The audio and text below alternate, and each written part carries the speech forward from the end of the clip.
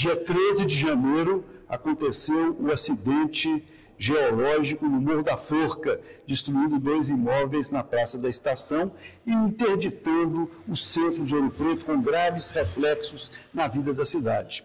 Agora, no final de fevereiro, começamos a obra com todo o planejamento definido tecnicamente, com toda a autorização dos geólogos e engenheiros que acompanharam todo o estado daquela região durante esse período de mais de um mês e meio. Agora temos condição de fazer o trabalho tecnicamente recomendável para a tal situação.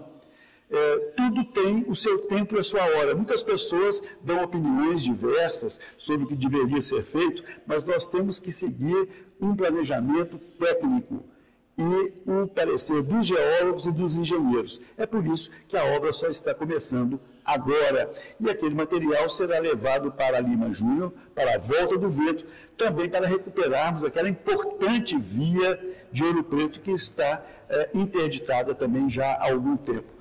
Com isso, resolvemos dois problemas, eh, removendo material de um lado, usando em outro, e vamos também fazer os novos taludes do Morro da Forca, numa contenção importante desse grande maciço no centro de Ouro Preto.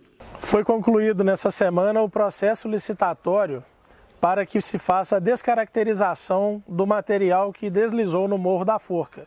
Esse material vai ser removido e haverá o processo de retaludamento no Morro da Forca.